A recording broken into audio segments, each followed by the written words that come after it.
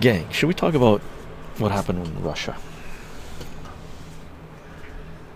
Okay. Because once i start talking i'm going to stop reading. I'm at the bottom of chat right now.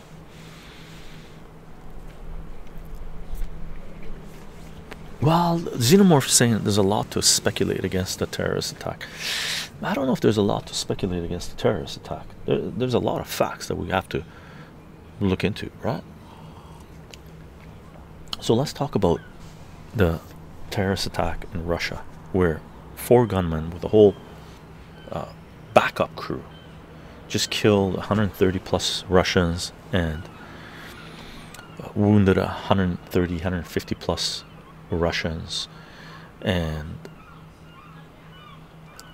brought brought out the ire of Russia to a level that there's going to be a lot of people who are going to regret what just took place, right? Because Russia, their retaliation is going to be nice and quiet, and the odds are there's going to be a lot of people being taken out of the game in the next few days, weeks, months, years. They will come for you if you had a hand to play in this, and they will take you out either publicly or anonymously, quietly, right? If you had a hand to play in this, you reap what you sow. Okay, now let's talk about who might have been responsible for what took place, right? One of the first signs you should know, uh, you should look at, is that the Western governments right away instantly came out and said ISIS did it. We didn't. We didn't do it. Ukraine didn't do it. ISIS did it. Okay. Now some people are saying they're lying. Now, you could take it that they're lying. That Ukraine and the West had a hand to play in this. Some people are saying, yeah, they're telling the truth. ISIS did it. Right? Take it whichever way you want, because both of them, both of them, is an admission that the Western world did it. United States, Israel, and the UK did it. Why do we say this? Because you have to look at who ISIS is. ISIS is a CIA Mossad operation, and you can go back in history, 50 years, to know that it is, right? Go back to the late 1970s with the Russia. If some people call it invasion of Afghanistan, some people would say the Afghan government asked, because they did, asked the Russians to come and support them. It was something, a pot that was stirred by the CIA, by the United States to create a Vietnam for Russia. You can look into the history of it. I'm not going to go there, right? But during that time, when Russia militarily was involved in Afghanistan, the United States funded a fanatical religious regime coming out of Saudi Arabia called Wahhabism. Right? At the time, it was called Wahhabism. It morphed, evolved into what we call ISIS right now, multiple branches. Right? So Wahhabism was coming out of uh, Saudi Arabia right, had a foothold in Afghanistan because they went there to fight the Russian invaders, they would call it. And the United States started funding, training, arming the Mujahideen in Afghanistan, right, to fight the Russians. And that was the birth of Al Qaeda, right, the base, Al Qaeda, right? And that's where ISIS comes from. Now, if you want to find out who was behind what took place in Russia, the Russian terrorist attack. Realize this that the United States used ISIS in the 1980s to wage war against Russia. Okay. They used ISIS to have to conduct terrorist activities inside Iran. Okay. They used ISIS for a long time, Al Qaeda for a long time, right? Until Al Qaeda, the Taliban under control of Taliban. Taliban and Al Qaeda, two different factions, right? Al Qaeda had a base, had you know, their not roots, but they had training facilities in Afghanistan. But Taliban took over Afghanistan in the 1990s, right? After Russia left, and was all the warlords fought against each other, and Taliban won, and Taliban got control of most of Afghanistan. Al Qaeda was functioning under them to a certain degree, small faction under them right? And Taliban, one thing they did was they reduced opium production down to zero in 2000 and 2001. Well, anybody that knows anything about uh, U.S. CIA operations, covert operations, overt operations, and their funding, they know that a huge chunk of it comes from illegal drug smuggling. Read The Dark Alliance from Gary Webb that came out in late 1980s, early 1990s. He got assassinated because he put that shit out, right? So the Taliban comes in in Afghanistan, reduces opium production down to almost zero. The CIA, Mossad, CIA, Mossad, Pentagon go ape shit because their funding for all their operations is drying up.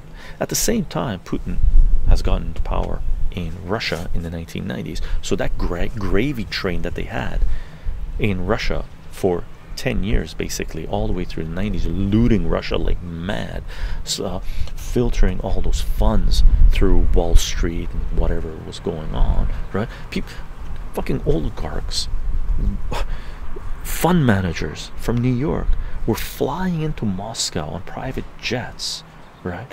Going into Russian museums buying priceless paintings for fucking pennies pennies on the dollar right on the same day taking those priceless paintings putting them on their private planes flying them to the united states. I know this because i had a family member that witnessed this that was not involved in it but involved in it right?